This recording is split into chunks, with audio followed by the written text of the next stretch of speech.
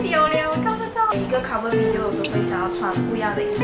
哦，这件我我也是很期待，因为 就是手上会用到印章油，好怕就是很容易洗断的感觉。Hello，大家好，欢迎回到我的频道，我是彩星。Today，淘宝开箱，有看我 story 的朋友都知道，今天是 It's my birthday，所以很有气氛在后面。我们今天就不要那么多废话，我们的流程就是那么简单，开箱做每个物品的 first impression，还有穿搭。那我们就马上开始啦。OK。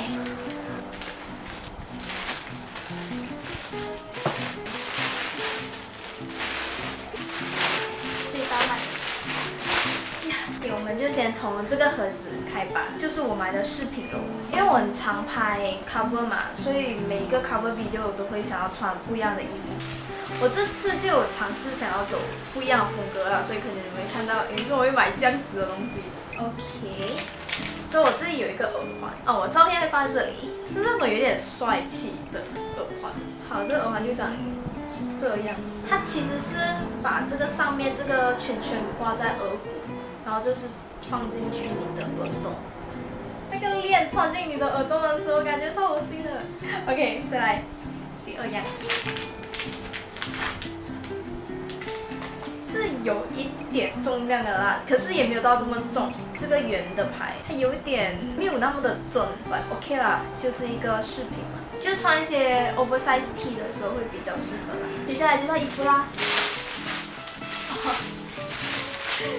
格子的那个上衣，这就这样子，感觉像是好像还蛮不错，就是那种可爱甜美的风格。这个紫色没有太大的色差，而且也不是什么奇怪的紫色。质感的话是是舒服的，不会很扎肤的那一种材质。所以我觉得它的版型是很好的啦，然后这也很 fit。然后其实我觉得这里的那个弹性它有点紧，但是我觉得我放在洗衣机里面洗久，它应该会。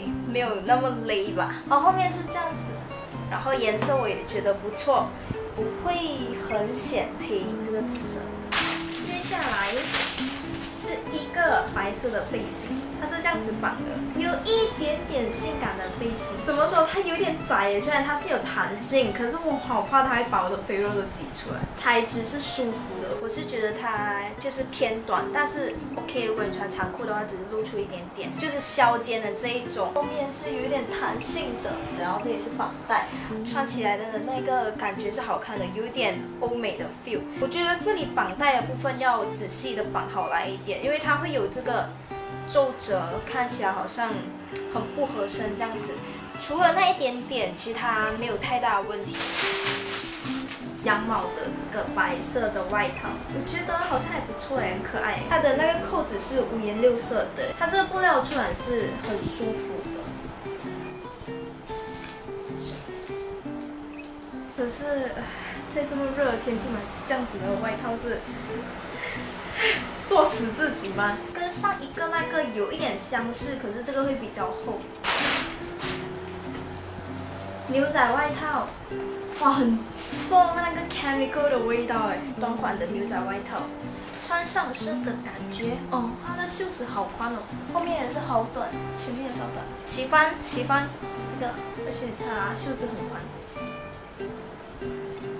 它的这个纽扣的地方，它一样是没有开口，是要自己剪的。它下面是做这种没有缝线的，我喜欢这样子的设计感，版型也好看，也没有色差，完全可以买。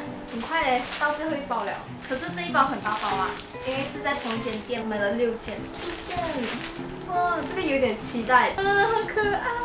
等一下，这个根本少女心爆发哎。这里是泡泡袖。然后这里是有做抽绳的那一个设计，它整个呃布置是滑滑的那种，有点像雪纺布的那种感觉。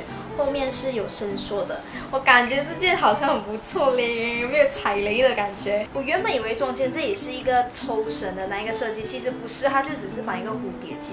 泡泡袖也不会到太突兀，后面也是有伸缩的弹性。然后这一件相对只剩那一件的话，这一件没有像只剩那么勒。这件还比较就是有活动的空间哦，这件我我也是很期待，因为 最近真的是超级无敌流行斑马。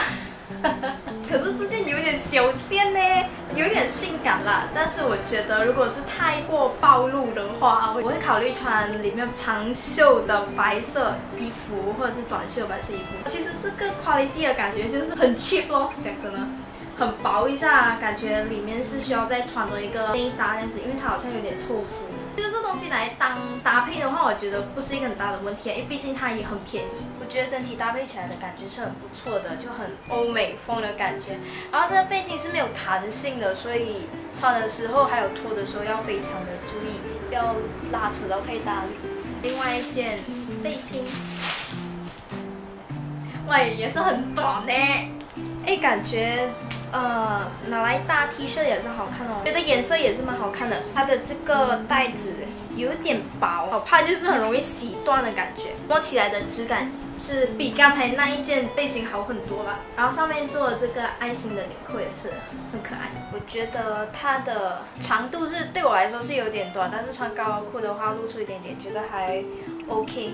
可是穿这个背心的话，我一定会配外套啊。这个肩带的长度也是刚刚好，也不会到太露还是怎样，所以我觉得这个也是还蛮可以买的。接下来呢是裤子。米白色裤子，你看上面这里超多扣的。我买的是 M size，我希望不会太大。哎，好像还好，算是直筒一点的然后它这里有三个扣，所以你可以选择你的腰型，你要去到多小或者去到多大，就整体感觉是不错啦，材质也是很舒服，在蹲下来的时候也不会觉得很勒很紧，还是这样这样子，所以我觉得。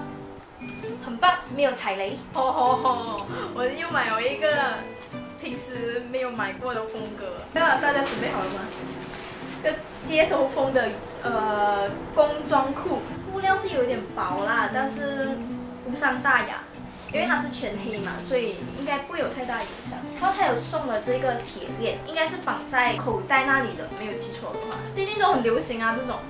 它就是挂在那里，它就一个这样子垂钓的感觉，是一个这样子的感觉，我觉得是很帅的，很好看。它原本 suppose 是要这里有一个东西给我挂这条链，后面也是应该有，可是它根本没有缝那个东西，就觉得很莫名其妙。而且它左边的口袋呢，它缝线缝错了，所以我的手根本没办法插进去。除了这两点以外，其实它整个版型看起来是好看。来到最后一件了。最后一件是一个米白色的吊带裤，我希望这个吊带裤是合身诶，因为我在去年还是今年年头的时候买了一件也是米白色吊带裤，可是它的 cutting 很奇怪，它的腰那里会有一个很大的洞。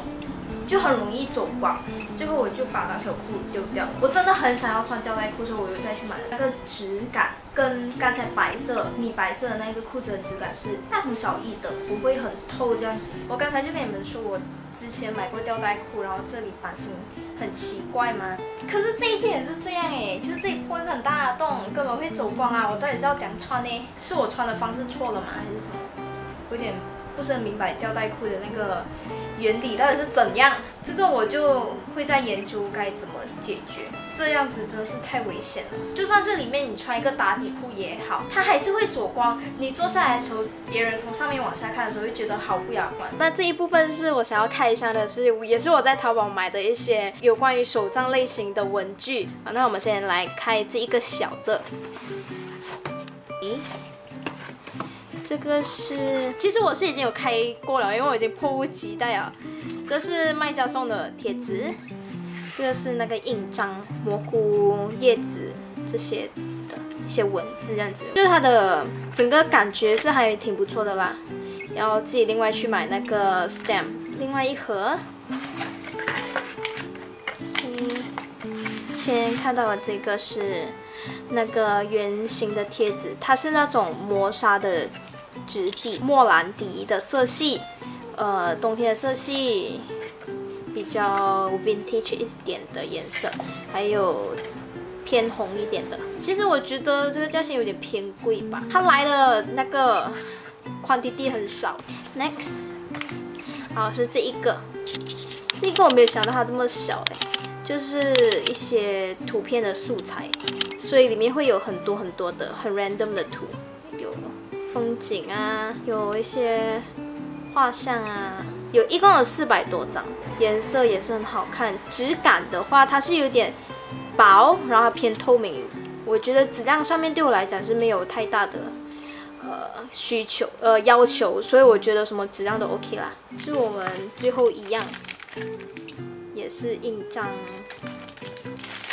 为什么我会买这么多印章？其实我没有一个人要用到这么多啦，我是想要呃，就是抽一点点送给我的朋友当生日生日礼物这样。然后里面这个都是关于 Moon and Sixpence。Moon and Sixpence 是一个很也是很出名的一本书，它里面都是一些星呃月亮啊、山啊、海啊这样的图案。然后拿起来是一小块一小块的方块。啊！怎么这么难没有太大的要求，大概是这样啦。OK，好，在刚才试完了所有衣服过后，我就想检查一下我订的东西，才发现到原来卖家漏发了一件，就是斑马的短款西装上衣长这样。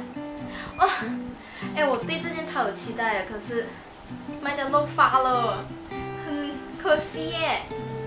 好了，没关系。我是觉得我买的所有衣服都还蛮 OK 的，管理第一版型都还蛮不错，但没有踩雷吧。所以希望你们会喜欢今天的这个淘宝开箱。如果你们有看中想要买的哪一件服饰的话，可以去到我的 description box，我会把所有的 link 都放在下面，你们可以去自己找来看看啦。如果在影片里面我很词穷，或者是我讲话不流畅的话，呃，希望大家可以多多包涵，我会好好的努力学习要。怎么讲话讲得更加的流畅，就这样子啦，我们下个影片再见，拜拜。